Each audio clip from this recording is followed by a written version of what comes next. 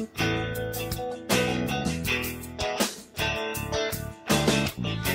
when we praise God, when we lift God up, we create a throne for Him to work in our life.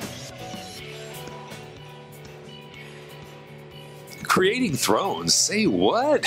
Hello, Bezel T3. That's Victoria Osteen telling people of Lakewood what she believes faith is all about. Now, it's a special morning at the house that Joel built because American pop musical icon Kanye West is going to speak to the people, and they are pumped. Hey, everybody, come on, let's welcome Mr. Kanye West today. Hello again, Bezel T3. This is the third and last installment of a Bezel T3 copyright retrospective. This time highlighting Lakewood Church and Joel Osteen as he welcomed rap superstar Kanye West to the stage. Kanye, as most of you know, is now running for president under what he calls the birthday party. I want to explain you that Democrats ain't getting shit for blacks. And the most racist thing that's ever been said out loud is the idea that if Kanye West runs for president, I'm going I'm to split the black votes. Kanye is nothing if not entertaining, honest, and vulnerable. My mom saved my life.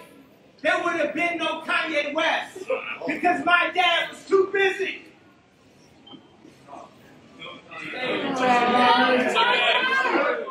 Wow, what an example of guttural transparency. Fair to say that Kanye is pro life, and I'm with him on that.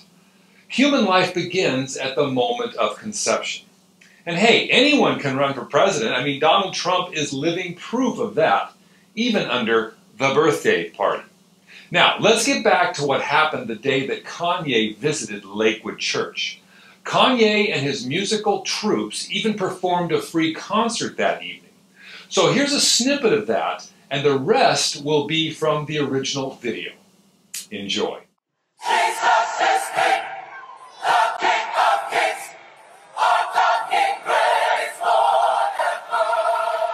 It was an eclectic mix, everything from Carmina Burana's O Fortuna to Psalm 118, This is the Day.